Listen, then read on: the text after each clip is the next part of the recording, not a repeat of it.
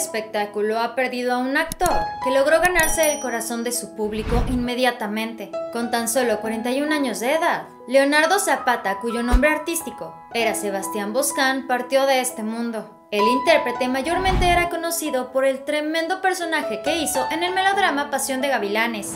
Según dio a conocer el periodista Carlos Ochoa, él partió de este mundo en su ciudad natal Medellín. La familia de Boscan hasta este momento no ha mencionado las causas por las cuales él partió de este mundo con tan solo 41 años de edad. Aún así, a través de diferentes medios de comunicación se ha mencionado que el actor, desde hace varios años atrás, estuvo pasando momentos sumamente complicados por una enfermedad terminal en el estómago que le diagnosticaron. A Sebastián aún le sobrevive su hijo, Lorenzo Zapata Ortiz, durante toda su vida, Sebastián siempre daba a conocer lo orgulloso que estaba de su retoño, lo cierto es que la pérdida de este actor deja un enorme desconsuelo en el gremio de actores. A él se le recuerda no solamente por sus trabajos en la pantalla chica en su natal Colombia, sino también con los múltiples trabajos que realizó en el extranjero. Algunas de las producciones donde él actuó fueron El estilista, El varón y Sin senos no hay paraíso. Al momento de dar a conocer la triste noticia, Ochoa utilizó su cuenta de Instagram,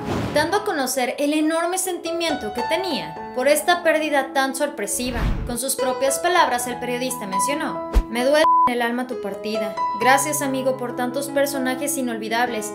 Parece mentira decir esto. Descansa en paz, Sebas. Estoy en shock. Es bien conocido que este presentador y periodista estimaba demasiado a Sebastián Boscán, por lo que mostró demasiado sentimiento cuando tuvo que dar a conocer y confirmar esta noticia. En su mensaje él continuó escribiendo, Duele, duele mucho tu partida, Sebastián. Siempre me sorprendiste con tu sonrisa y tu forma de ver la vida. Gracias por seguirme en mis juegos de telenovela, por darme entrevistas y por ir a mi programa.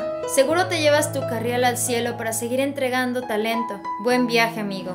Entre el 2003 y 2004, Sebastián le dio vida a Leandro Santos en la producción Pasión de Gavilanes. Con este personaje, Sebastián se ganó el cariño del público y por supuesto un prestigio internacional.